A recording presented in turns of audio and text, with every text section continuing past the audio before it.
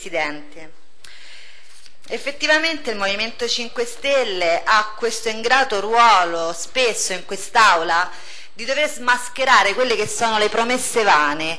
Ecco, questa a noi sembra una promessa vana, anche perché viene proprio dalla maggioranza, quel partito di maggioranza, che ha la sventatezza, perché così possiamo chiamarla, di inserire all'interno di una sua mozione una frase che dice una vera alternativa sul ferro è impraticabile.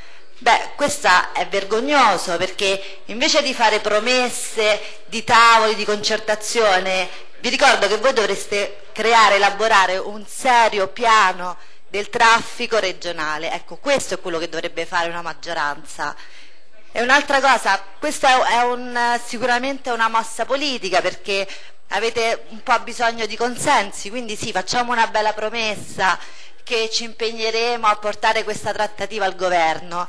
Beh, quando porterete questa trattativa al governo dovete anche sapere che incentivando i pendolari si incentiva il traffico su auto e questa non è una cosa che dal vostro programma risulta, non mi sembra che siano queste le intenzioni.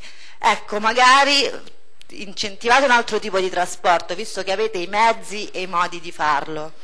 E poi un'altra cosa, politicamente parlando, consigliere Strace, mi dispiace che anche lei si informi esclusivamente sui mezzi di stampa controllati dal regime. Beh, vede, noi stiamo facendo costruzionismo non per far pagare l'IMU, ma per una cosa molto semplice che nessun giornale di regime dice, ma perché voi, centrodestra e centrosinistra, all'unanimità state svendendo Banca Italia. Grazie.